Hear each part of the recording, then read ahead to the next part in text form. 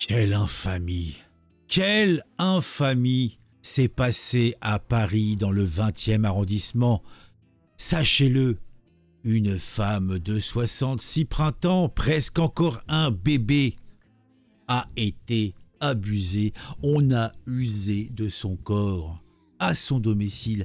Et qui a fait ça? Mais qui a fait cette infamie?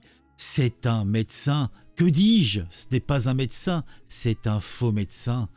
Et cet individu a fait preuve d'une cruauté incroyable. Je vais vous expliquer tout ça. Faites-moi confiance. Faites confiance au docteur, au docteur de l'amour.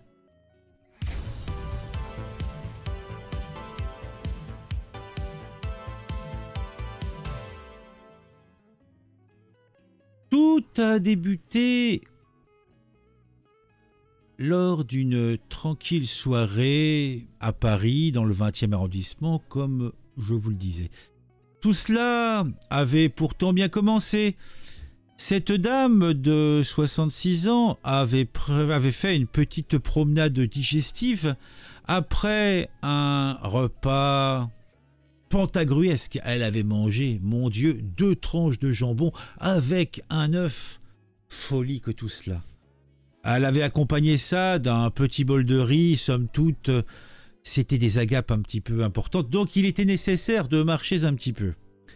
Après euh, sa petite marche, elle commence à rentrer chez elle, hein, tranquillement, à monter les escaliers ou à prendre l'ascenseur, je n'ai pas, je n'ai pas la précision, et se retrouve sur son palier. Et sur son palier, elle se trouve en face d'un homme. Une trentaine d'années, le type africain. Et celui-ci profite qu'elle rentre chez elle pour la suivre dans son appartement. Une fois à l'intérieur, le monsieur abuse rapidement de la confiance de la pauvre dame qui est dans un état de vulnérabilité. Il lui dit qu'il est médecin et qu'il travaille aux hôpitaux des Hauts-de-Seine et qu'il était important qu'il la suive dans son appartement. Et il était important qu'il lui fasse des examens médicaux. Pour cela, il euh, intime à cette euh, jeune femme de 66 printemps, presque un bébé, de le suivre dans la chambre, sous prétexte, comme je vous le disais, d'examens médicaux. Et là, c'est l'horreur. C'est l'hécatombe. Mon cœur se flétrit rien qu'à l'évocation, rien qu'au souvenir, rien que mais je ne veux point rentrer dans les détails. Mais sachez seulement que ce fut un wall abominable. Oui, en effet, usant de son statut fictif de professionnel de santé, il a commis des actes dégradants sous le faux prétexte d'un toucher, oui, vous m'avez bien entendu, d'un toucher rectal. Oui, oui, oui, oui, oui, oui, oui, oui. Pour tout dire, les doigts dans le joufflu, c'est ça, vous avez compris. Après cette odieuse attaque, l'agresseur a fui dans la nuit en laissant la pauvre victime choquée et dévastée. On le sera moins quand même, hein, on le sera moins, euh, on le sera moins. Malgré le traumatisme, euh, ce bébé de 66 printemps a remis ses culottes et a bravement surmonté son état de choc pour se rendre au commissariat le plus proche et porter plainte. À l'heure actuelle,